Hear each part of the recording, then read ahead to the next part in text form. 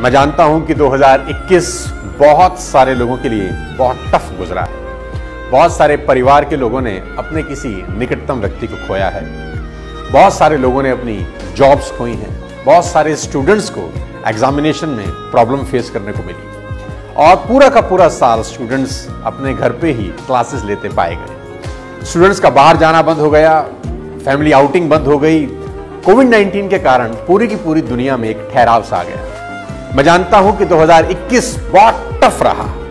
मैं उम्मीद करता हूँ कि 2022 हम सबकी ज़िंदगी का सबसे बेहतरीन साल साबित हो ईश्वर हम सबको चुनौती देता है। कौन उस चुनौती से बाहर निकलेगा, ये एक बहुत बड़ी चुनौती है। मैं जानता हूँ 2021 की चुनौती बहुत सारे लोगों के लिए बहुत डिफ़िकल्ट रही। लेकिन उम्मीद करता हूँ कि 2022 का आरंभ बहुत शानदार तरीके से आप करें सिर्फ़ एक ही बात आज कहना चाहता हूँ 2021 की पूर्व संध्या को, कि 2022 की शुरुआत में अगर कोई रेजोल्यूशन आप बनाना चाहते हैं तो सिर्फ़ एक रेजोल्यूशन बनाएँ कि 2022 में कोई रेजोल्यूशन ना बनाएँ। जी हाँ, मैं रिपीट करता हूँ 2022 में आप कोई रेजोल्यूशन ना बनाएँ।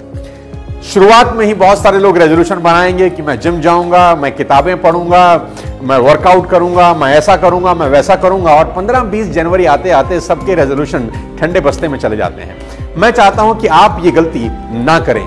आप सिर्फ़ एक काम करें जो आपको पहले से मालूम है, अपने जीवन में उसको इंप्लीमेंट करना शुरू करें 2022 दिसंबर में आप खुद को कहाँ देखना चाहते हैं, उसको विजुलाइज करें और पूरे साल उस परछाई का पीछा करें जो आप होना चाहते हैं 2022 दिसंबर मैं परमपिता परमेश्वर से कामना करता हूँ कि 2022 आपकी ज़िंदगी का सबसे बेहतरीन साल साबित